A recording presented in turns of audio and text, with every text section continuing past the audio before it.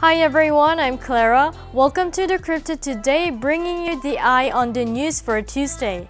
Let's take a look at today's news.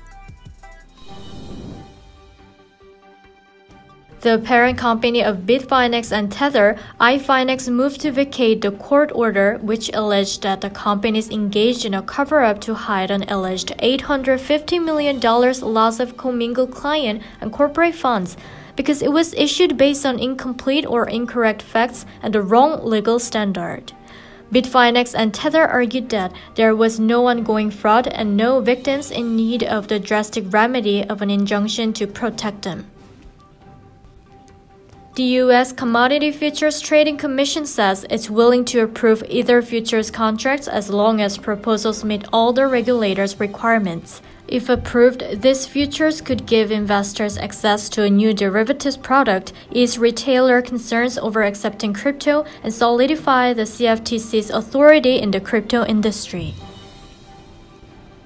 Charlie Bilello, the director of research at Pension Partners, just said on Twitter that the highest return rate on investment will be from BTC in 2019 with a return rate of 52%.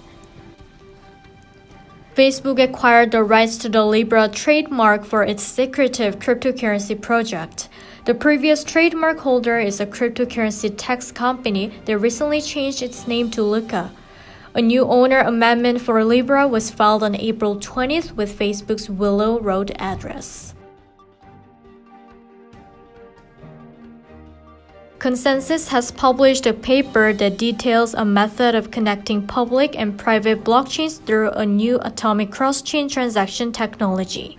They say we propose a cross-chain technique which allows transactions to be executed automatically across sidechains, introduce a new mechanism for proving values across sidechains, describe a transaction locking mechanism which works in the context of blockchain to enable atomic transactions, and a methodology for providing a global timeout across sidechains. Switzerland's top stock exchange SIX could issue a token to meet its goal of digitizing traditional assets. Thomas Zeeb said that the SIX's planned digital exchange will go live with a native token and an initial digital offering service in 2020. Bursa Malaysia has embarked on a securities borrowing and lending proof of concept that explores the opportunities afforded by blockchain technology to develop greater transparency and address other operational challenges associated with the SBL market in Malaysia. The project aimed to ramp up efficiency, speed, and capacity in securities lending supply and borrowing demand. Over the past year, the technology arm of the Central Bank of Iran, the Informatics Services Corporation, has been developing prototypes for a comprehensive nationwide blockchain platform.